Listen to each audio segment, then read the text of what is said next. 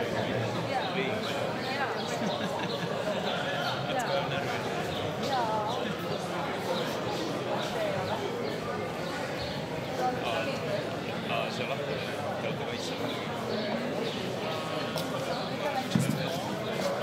afternoon and welcome at the press conference following the informal meeting of uh, the defense ministers of uh, the European uh, Union. Uh, Minister of Defense of Estonia, uh, Jüri Luik, uh, and High Representative Vice President Federica Mogherini will briefly present the outcomes of the meeting and then we'll take a couple of questions before we move to the next meeting. Minister, you have the floor. Thank you. Thank you very much. And welcome, everybody. And uh, let me use this opportunity also to thank Federica Mogherini for her leadership in this uh, process of developing uh, EU defense. Uh, I think the um, unofficial, informal meeting of today uh, had uh, some particularly important issues to discuss. And if I go by our agenda, then uh, the first, perhaps the unique uh, experience we had was to do with uh, cyber defense exercise called Cyber 2017, uh, where ministers were put to a, a fictional situation uh, which was happening with the EU mission, EU military mission. And they had to answer to a list of complicated questions. Uh, we were emphasizing that this was not an exercise to teach ministers to program, but it was rather to ask them to make, to, to provide political solutions to difficult uh, issues which unavoidably are raised uh, in these circumstances. Like if you are attacked, is it a cyber incident, cyber attack, armed attack, uh, which EU tool would you use in those circumstances? What kind of communication policy uh, would you use? Uh, um, public release of all information or more sensitivity, secrecy, etc., etc. I think ministers enjoyed the, uh, the uh, exercise, and I think uh, this allows us to bring the information we garnered from that exercise also to future exercises, both in European Union and NATO, and also to develop EU uh, cyber defense uh, capabilities. Uh, we had a thorough discussion on uh, Sahel and the Horn of Africa problems. Uh, I'm sure, Federica, you will, you will cover them. Uh, and finally, PESCO, the Permanent Structured Cooperation, I am personally not a fan of that abbreviation, but uh, I think the, uh, the idea itself is great, the, the, the deeper cooperation. And what I think was extremely important was that the spirit around the table was very positive, very inclusive.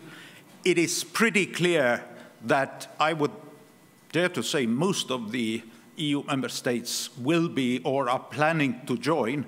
And uh, we, of course, went through a list of uh, conditions or ideas which uh, would be necessary for EU member to, to bring to the table if uh, they want to join. I wouldn't call them criteria, it's more kind of a framework uh, of, of ideas. And finally, European Defence Fund. Estonia is leading a working group which is uh, uh, organizing this fund or, or drafting uh, the basic documents of the fund. Uh, obviously, this is a very complicated issue, uh, and it is extremely important that the money we put to both research and development and capability building would support European defense, would support European defense industry, and the point we made was also that the small and medium-sized industries should be uh, helped uh, by this very program. But it is all in the works. We hope we can sort of uh, finally sort of open PESCO and the fund at the end of our presidency. Thank you.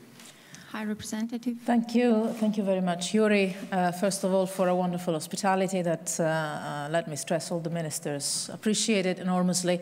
Uh, and also, congratulations for what is uh, so far a very successful uh, we have had these three main points on the agenda of the defense ministers meeting the last one jointly with the foreign ministers that will continue their work uh, uh, immediately after this press conference.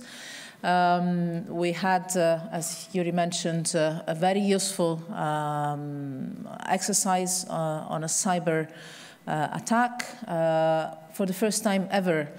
with the NATO Secretary General being invited to observe the exercise, Uh, as we will have an increased role for the European Union in the next NATO exercise. This is the first time this happens, uh, and this is the testimony of uh, stronger than ever uh, cooperation and coordination between the European Union and NATO in particular on hybrid threats and, and cyber.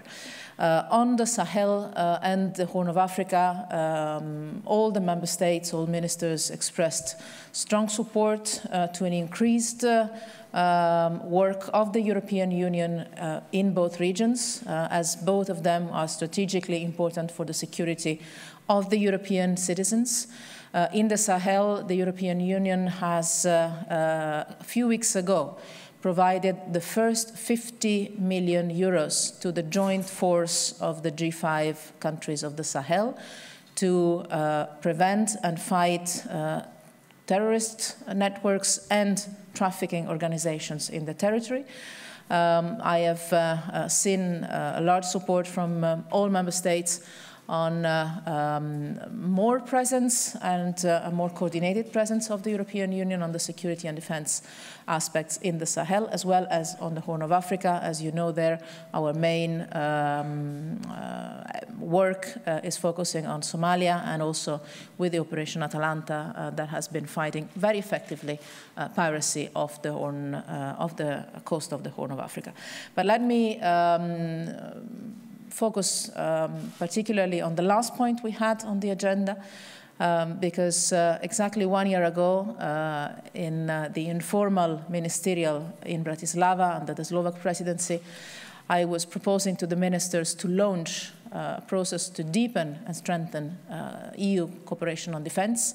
At that time, uh, skepticism was uh, uh, quite uh, uh, the norm around the table. Many observers and also many around the table were expressing maybe appreciation, but some skepticism of the fact that this would have been possible at all, and maybe it would have taken decades. And many remember the fact that already in the 50s, this was one of the building blocks of the European dream of our founding fathers and mothers, few hidden, but still somewhere there. Um, instead, one year exactly later, uh, we are um, at a stage that was completely in, not possible to imagine back then. And this is thanks to uh, an excellent uh, teamwork that all member states and all European institutions uh, have managed to make in this uh, last year. And I would like to thank all ministers, but also all the teams that both in Brussels and in the capital cities have been working on this.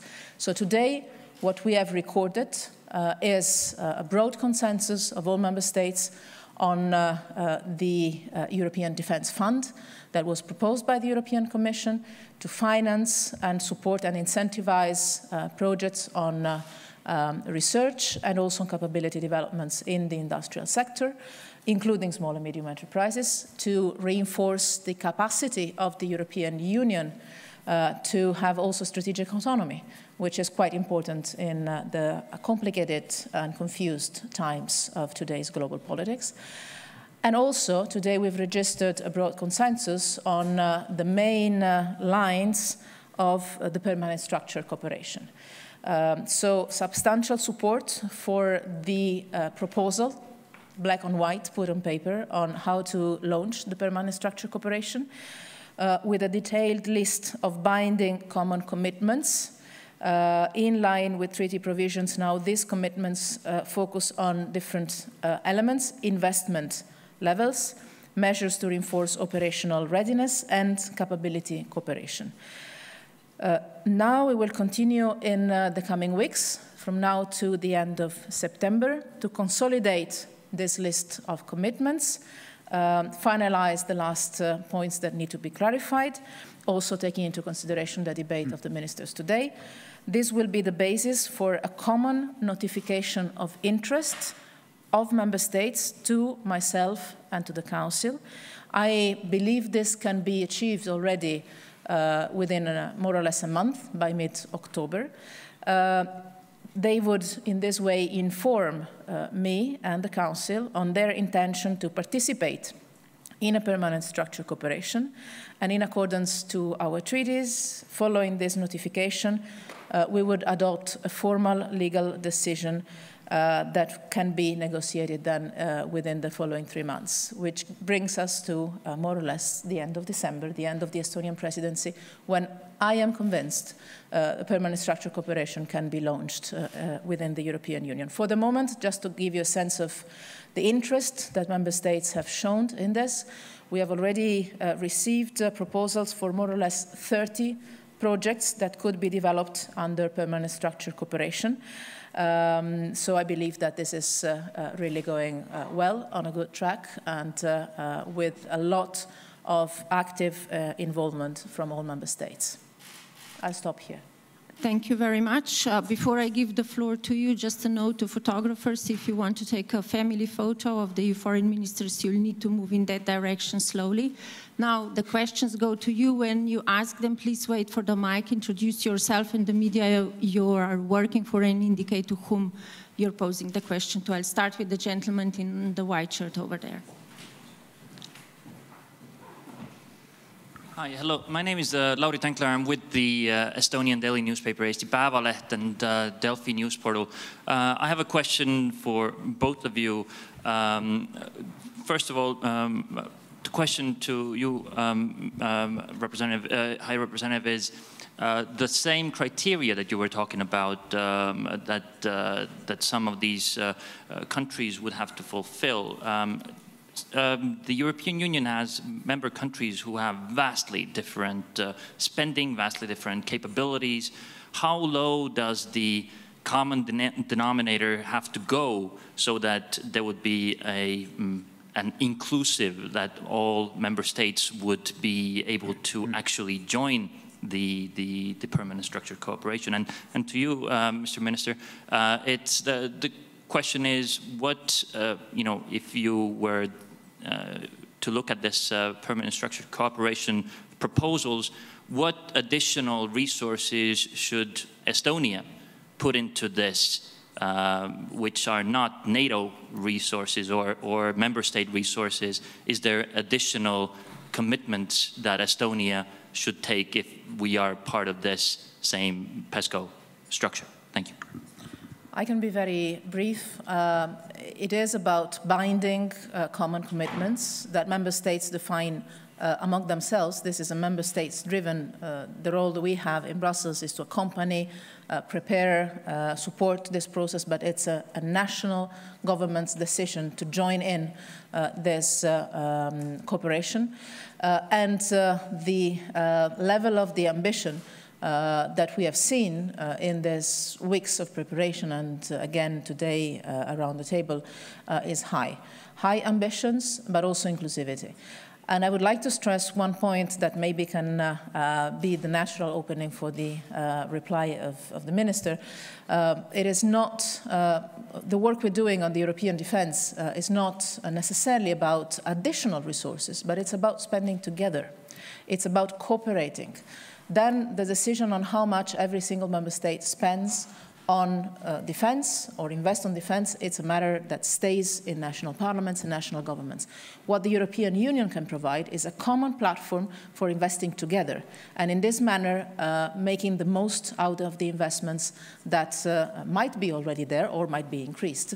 This is a national choice. But what we are offering is a platform for joining uh, investments, joining uh, projects, and in this manner overcoming the fragmentation that is characterizing currently, uh, especially the um, environment of uh, um, defense industry in Europe. Uh, in this way, uh, the European uh, industrial um, framework uh, in the sector of defense will be uh, enormously um, uh, enabled to play a major role globally, and the European Union would then be, I think, really a credible security provider globally. Thank you.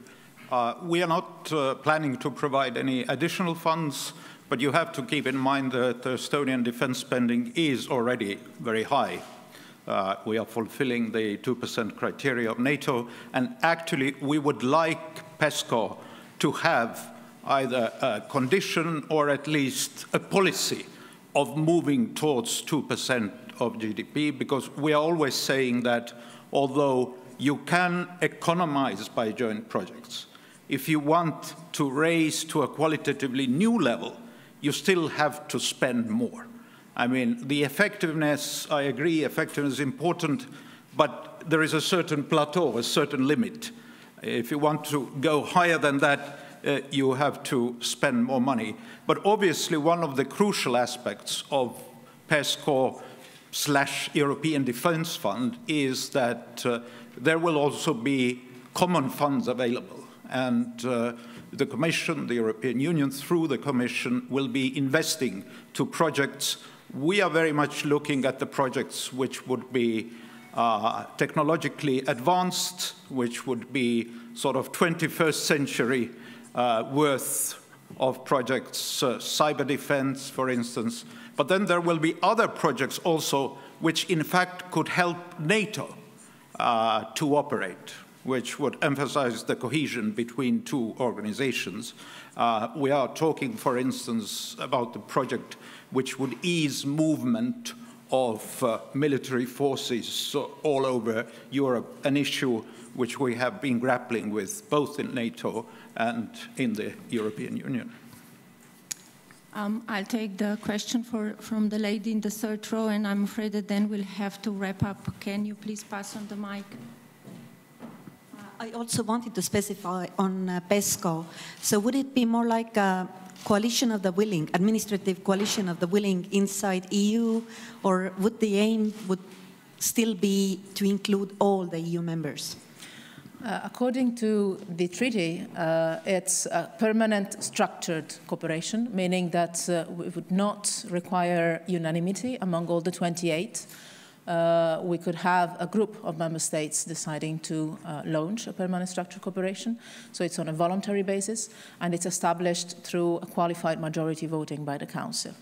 Uh, what I have to say is that so far, on the basis of the discussions and the preparation we've had, uh, I see uh, a very large, uh, if not unanimous, uh, willingness of member states to join.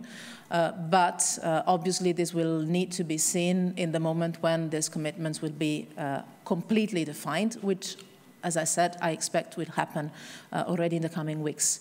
The sense of direction today is clearly for a very broad interest in joining a permanent structural cooperation, but again, it doesn't require unanimity, and it's conceived to allow member states that are willing to do more together uh, to do so without uh, needing the unanimity uh, of uh, decision at 28. And this is true for capability developments, for research, for uh, also operational um, decisions that can be taken. Uh, and I believe that this is going to be um, a definitive step towards a European Union defense um, cooperation that so far has been only on paper. I would only add that I totally agree with that uh, there will be kind of the political body of PESCO, which, I mean, consists of all PESCO members.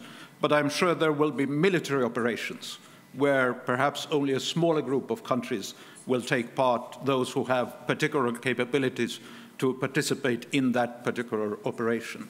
So that, that is, I think, the, the easiest model to be, to be used.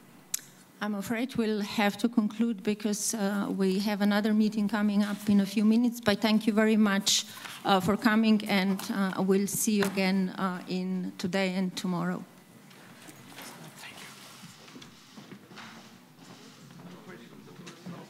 Ukraine anything. I'm disappointed.